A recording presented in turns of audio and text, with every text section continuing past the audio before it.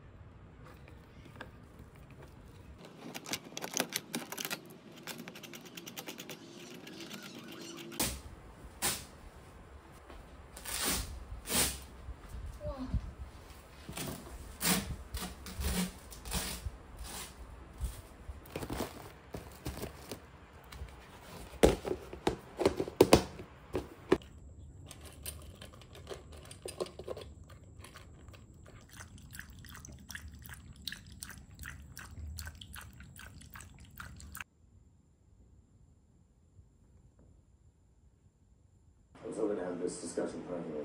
Well, this is our new general counsel, Matt Last.